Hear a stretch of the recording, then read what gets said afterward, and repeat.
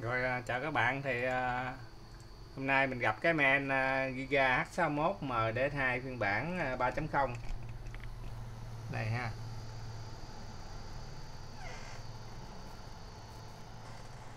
Thì à, đây phiên bản 3.0 thì nó bị lỗi à, cái bệnh à, khá khó chịu à, trên cái à, dòng men à, Giga H61 này. Là cái à, cái độ phân giải nó bị à, lỗi á. Như thấy như à, cái này là mình sửa rồi nè. Mình chỉnh cái độ phân giải mà bình thường à, thấp mấy màn hình nhỏ thì không sao mà khi mà mình chỉnh lên độ phân giải à, 1920 1080 á thì cái hình này nó bị giãn rộng ra. Thì mình phải chỉnh lên 75Hz á, thì nó mới vừa lại thì bây giờ mình đã chỉnh lại 60Hz thì giờ nó nó đã ok rồi nè. Bây giờ nó không có còn hiện lên 75Hz nữa. Thì cái bệnh đó, nó lỗi à, khá là khó chịu. Thì ở đây là mình có cái sơ đồ, cái men à, Giga H61 MD2 phiên bản 3.0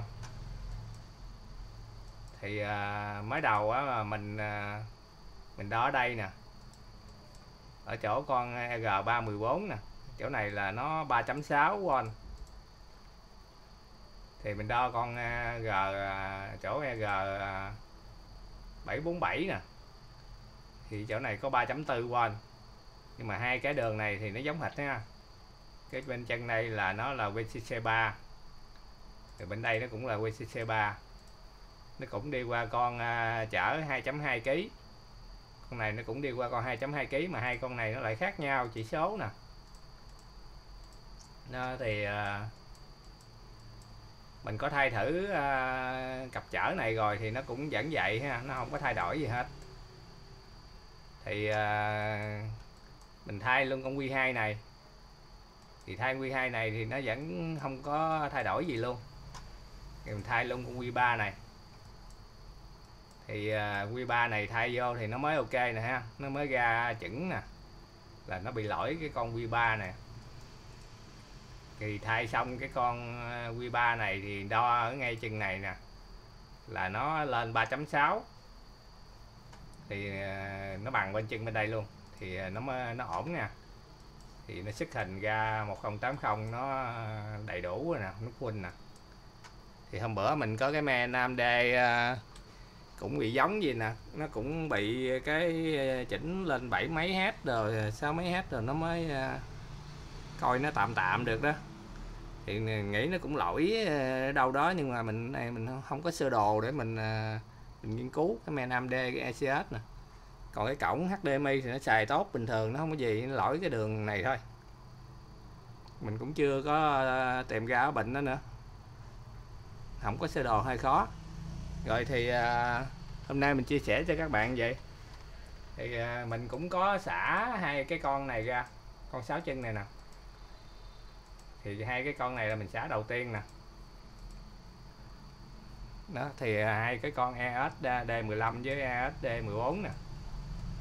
Là mình xả ra đầu tiên để à, loại trừ nó. Thì nó chập chờn nó cũng gây ra lỗi nhiễu rồi tùm lum hết thì thay ờ, lòng vòng tùm lum hết rồi, cuối cùng là lỗi con Q3 này nè. Nó làm cho sụp cái nguồn ờ, này còn có 3.4 à. Thì giờ đây mình ờ, đo cho bạn xem. Mình mở cái đồng hồ lên cái.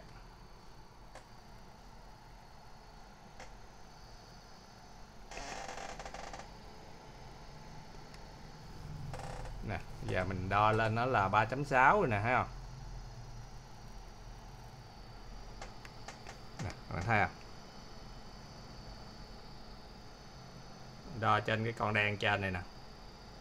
Thì nó là 3.6 nè. Đo con dưới này nó bây giờ nó cũng ra 3.6 nè, thấy không? Rồi hai con nó ra đều rồi nè. Nó ra ra 1080 thì à, bạn xài màn hình nhỏ thì khi nó không thấy gì hết, nhưng mà bạn xài màn hình à, có 1080 thì nó mới ờ, phát sinh ra cái lỗi này. Rồi thì hôm nay mình ờ, chia sẻ cho các bạn cái ban bệnh ờ, hơi khó chịu của cái dòng men này. Cuối cùng là lỗi con quy này nè ha. Đây con này con đen này.